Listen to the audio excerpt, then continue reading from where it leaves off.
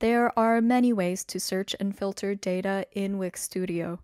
You can query your CMS data with the Wix Data API, or if you want to do site search, you can use the Wix Search API to easily search through any of your SEO indexed site pages.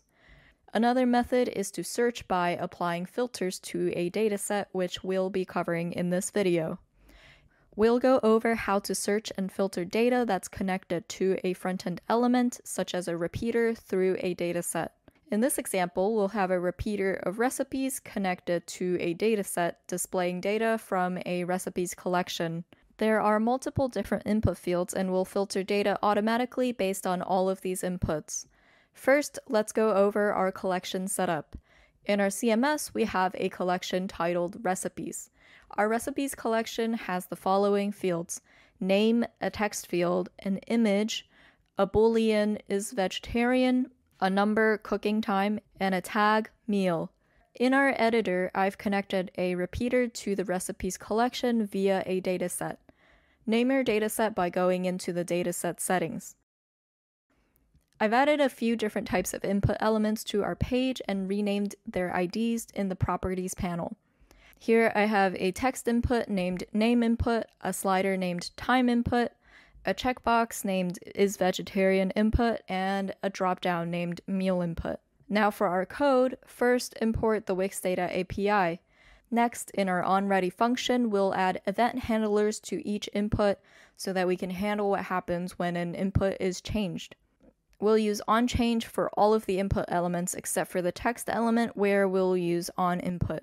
Next, we'll go create a function called update filter. Call this function in each of the input elements event handlers so that the filter is updated anytime the inputs are changed. Now back in our update filter function, we're going to create some constants that are set to the value inside each input element. Then create a variable to store an empty Wix data filter. To filter data in your repeater, you'll have to pass a Wix data filter object to your dataset. So let's set our recipes datasets filter to the filter that we've made.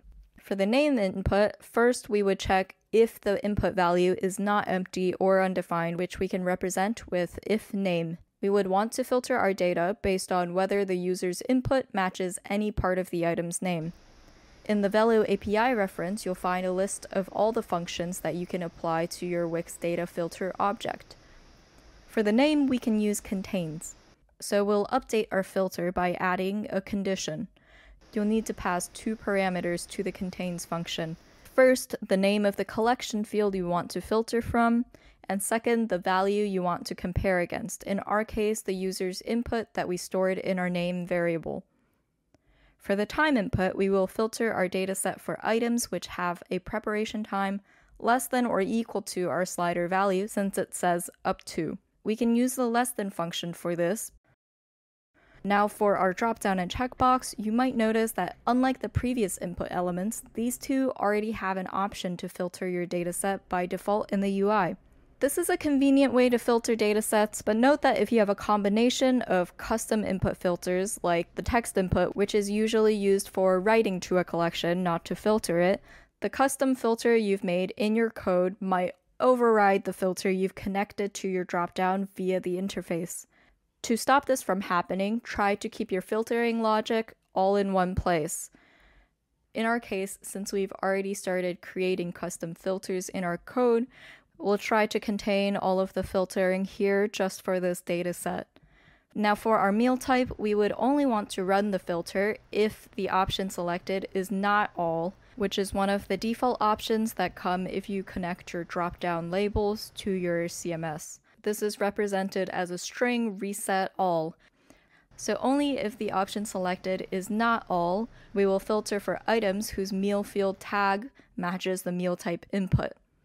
And similarly, our vegetarian only checkbox typically has a filter option through the UI, but we'll add the logic to our code to prevent any overriding of filters. Now we'll only want to filter if the checkbox is checked, and otherwise we want to display all of the recipes filter only if is vegetarian is true using the equals function for our boolean is vegetarian collection field.